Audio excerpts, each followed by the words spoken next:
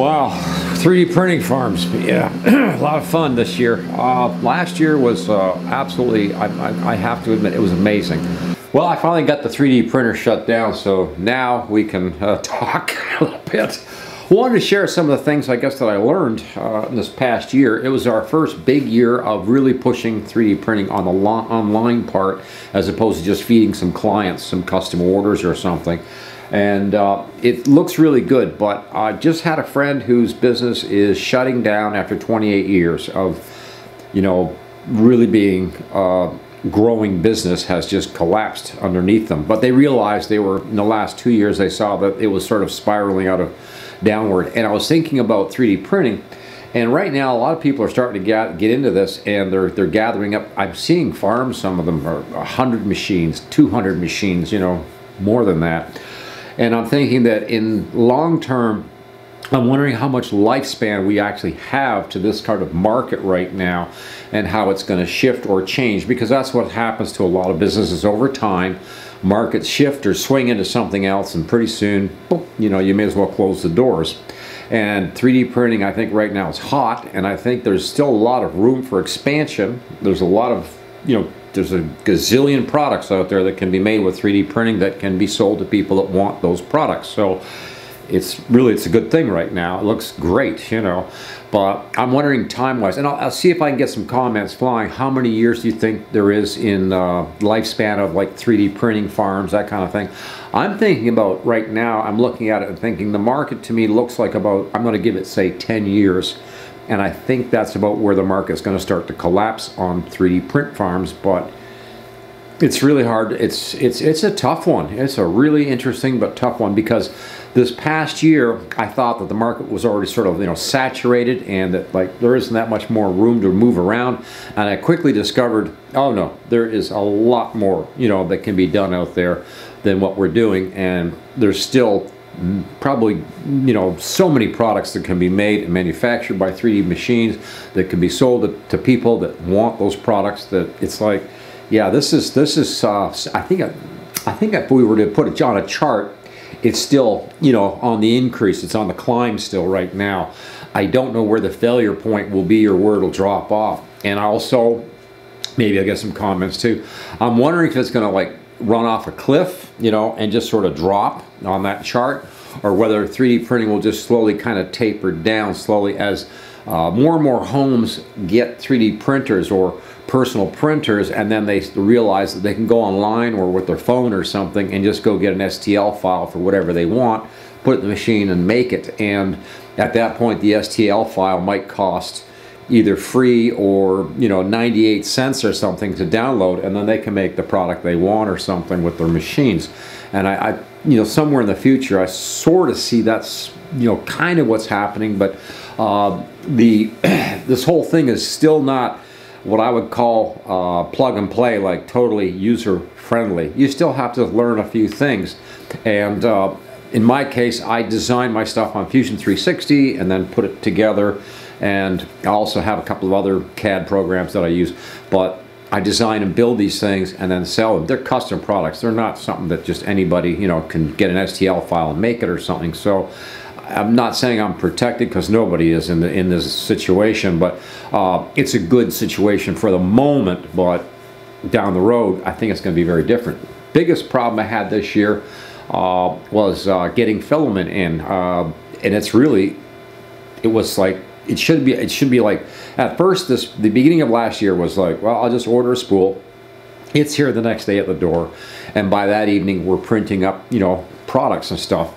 And slowly it got to the point where it was like okay this product is this this filament is taking two days to get here. I'm running out of filament. We've got a problem you know. And sort of I started alter you know altering this and saying okay let's order two and three spools of this of each color and that way I'm, I'm covered. And uh, quickly found out again that you you run out of this color but not that color. And again a problem with ordering and getting the filament in right away.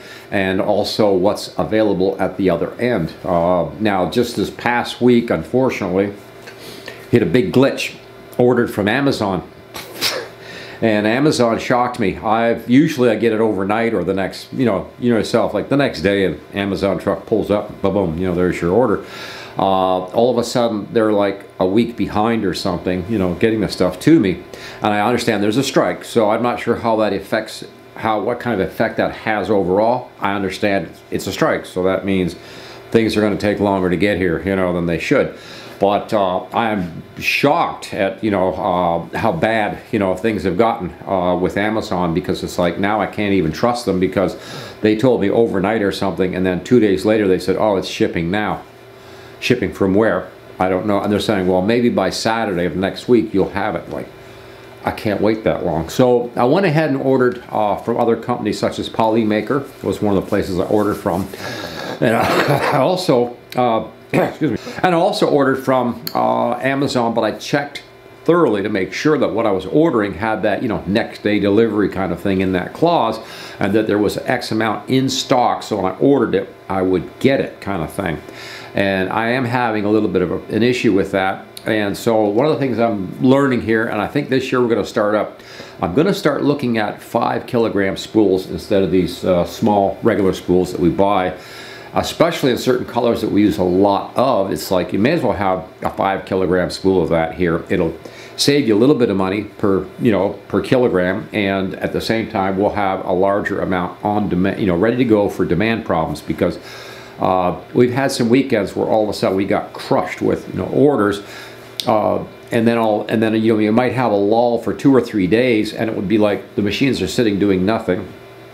Big mistake because what you find out is these machines might be sleeping temporarily, but all of a sudden they're running you know 24 hours a day for three or four days to try to catch back up sort of thing because you were slammed you know with a bunch of orders so it's been an interesting uh, learning experience the other problem I had this past year too and it's uh, still a concern so I'm going to try to get a machine in that I'll show to you guys once I get it in it's going to be a, a big machine I guess but uh, one of the problems I'm having is uh, the machines. I had two of the big machines, which are the 300 by 300 plate.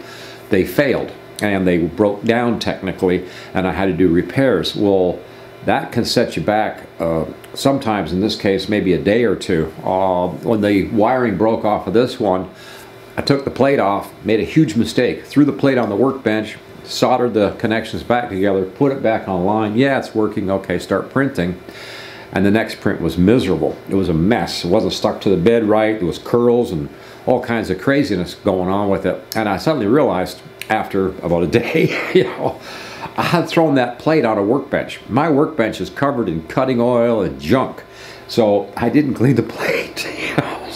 So I took some alcohol, cleaned the plate, and all of a sudden, oh, we're back to printing normal again. But I wasted uh, a good chunk of filament to, before I realized, yeah, you know, you need to clean this plate because of what you did, you know, and it was like, I can't believe I didn't, you know, realize, you know, you can't just throw that plate back on. You need to clean it after you've done that. Uh, I got the uh, leveling and everything. I'm like a science with that thing, so I, I put it on. I can level a plate, no problem. But you know, skipping that step of not cleaning it afterwards was, was just, oh man, talk about, was in a rush, you know, I was in a hurry. We needed to get production out, needed to get back on it, and then realize, you know, big bad mistake. So yeah.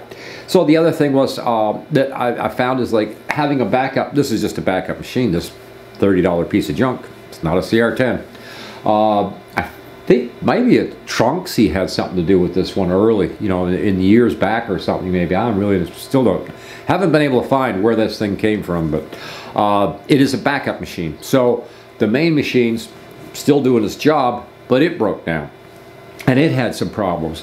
And that became disturbing because again you got to troubleshoot a 3d printer and it was like i don't know what's wrong. Let's find out and try to figure out what what's going wrong or why is the machine suddenly having a problem where it you know uh, my one machine started stopping in mid-print for no particular reason and throwing an error code stuff it's the same STL file it's the same SD card you know there's nothing new here. All of a sudden, it's doing this to me. And uh, so I had to do quite a bit of work on that machine. And uh, it was just the way the filament feeds in was somehow tripping the uh, sensor that it was out of filament. And it was like, you know, I, I, don't even know how the heck that's happening. And then another problem I ran into was uh, one of the cables was brushing the uh, flat cable that feeds the signal from the SD card. And again, it was you know, just touching it enough that it would, every once in a while, just out of the blue, would knock it off kind of thing. So I had to move that cable away so can't have any disturbances like that. Uh, had some different issues. This one has broke down.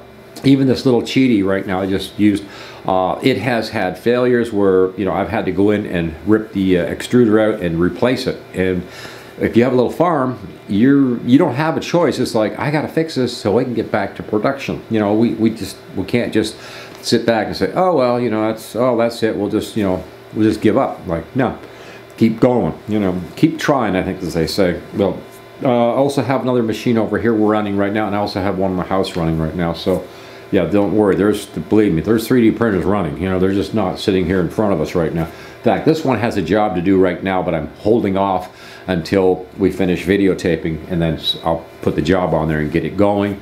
That one, the only thing it's waiting for is, that's the only spool of uh, filament I've got left on that for that color right now. So uh, I've got some coming in, should be here between now and Saturday or something. So, oh, great. So in the meantime, I can't run the machine because I just, I'm not gonna take a chance. Uh, what I do is I stock up a certain amount and I have like, you know, two and three of everything in order, ready to go. But if something, you know, if we get behind like this situation here, we've got that. Now, if those two sell, then I know which ones sell. I know which one I need to start printing right away. So we can print, I guess you could say, ahead of time before the last order comes through where it's like we have no more stock or something. So there's no panic, you know, mode going on. Uh, we had, did have that this, uh, I hate to say it, we did have that this past year.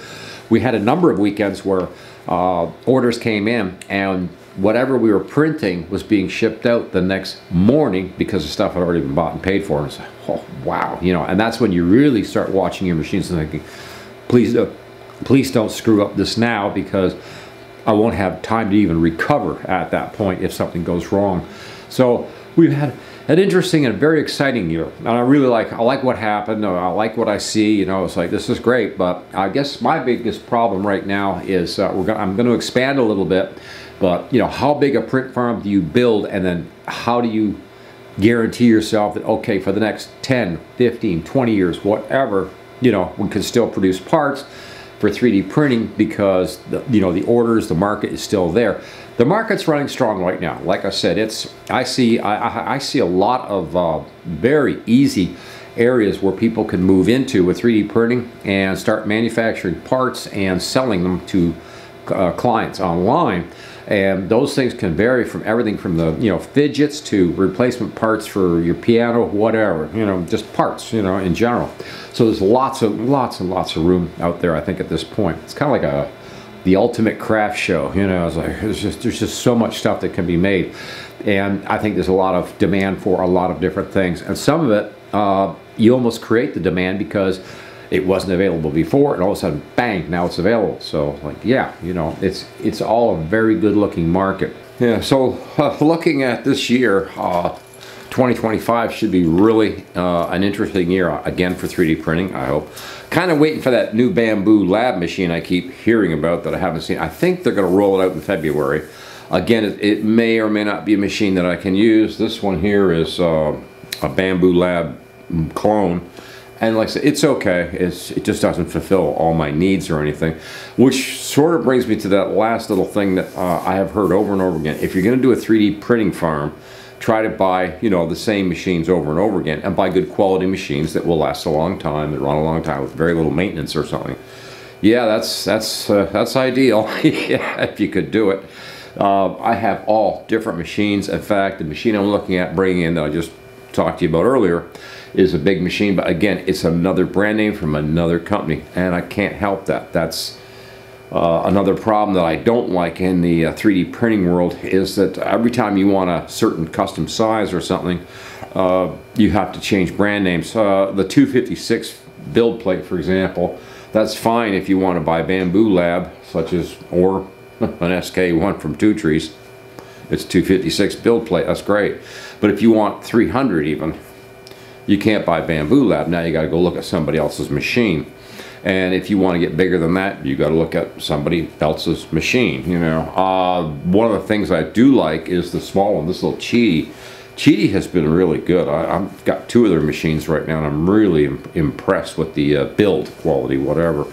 The uh, best thing that's ever been in here, it's not on display here, obviously, but uh, we've we've given it the award of Employee of the Month because last year it made thousands of parts. It ran almost entirely for a full year without any trouble at all, and uh, we had one one problem with it, and that was the power switch. But uh, the Longer LK5 Pro, it's a 300 by 300 build plate, and it just kept running like it was just like a clock, I guess you could say. It just was dependable, and it ran the prints off over and over and over again. Just unstoppable. And uh, we gave it the Employee of the Month. And I think uh, if we were going to do something with uh, one of these printers, we would say the Longer LK5 Pro got the uh, award again for the employee of the year or something because it just kept it's it's still even as I speak here right now the Longer even right now is knocking out jobs that we're going to be needing until like next week and stuff and it's knocking it out right now.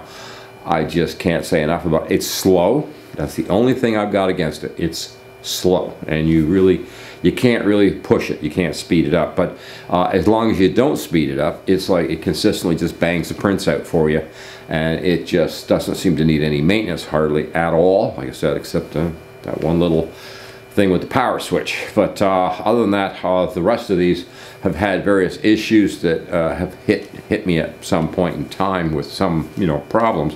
And we also had some uh, we had was it Kingroon machines?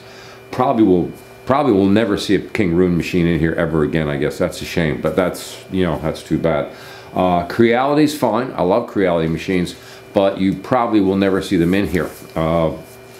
No particular reason. They just don't have, just so happens they don't make a printer that's uh, that I can use that applies with me with their pricing, structure, whatever.